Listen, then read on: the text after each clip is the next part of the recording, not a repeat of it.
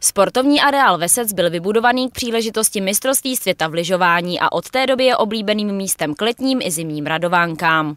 Aby mohly být travnaté, ale i asfaltové plochy návštěvníkům k dispozici celoročně, bylo zapotřebí opravit zastaralý odvodňovací systém. Na oválu a na trafostanici se pokládaly odvodňovací potrubí do země, aby ten areál vyhovoval podmínkám pro sportování i v době třeba trvání právě těch dešťů. V týdnu od 24. června ale zhotovitel práce přerušil a to hlavně proto, aby nenarušil průběh největší sportovní akce tohoto roku Olympiády dětí a mládeže. Práce na oválu byly hotové už v době trvání olympiády a na trafostanici tam se čekalo právě do konce trvání leté akce. Zbývá dodělat už jenom položení uliční vpusti a šachty u trafostanice a zadělání rých. Magistrát města si práci zhotovitelů pochvaluje.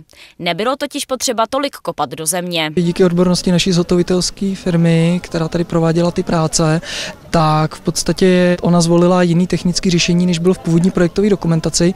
To znamená, že projektová dokumentace hovořila o tom, že se mají dělat příčné překopy v místech zpevněných ploch asfaltových, ale nakonec naše zotovitelská firma všechny ty asfalty podvrtala. To znamená, že nejsou zde žádné příčné překopy, takže byl zachován pro sportovce stále ten komfort, jaký tady byl i před tou rekonstrukcí. Magistrát teď bude muset dohlédnout na pravidelnou údržbu areálu, kterou zajišťuje sbor dobrovolných hasičů Růžodol. Každý večer tady sem jezdí a cisternou kropí eh, travní koberce, které jsou položené na těch odvodňovacích prvcích. Musí sprchovat i asfalty, protože prostě to klima teď v tom teple je poměrně náročný i pro ty jednotlivý, co tady jezdí, návštěvníky areálu na bruslích, na kolech. Sportovní areál Vesec pak město udržuje celoročně.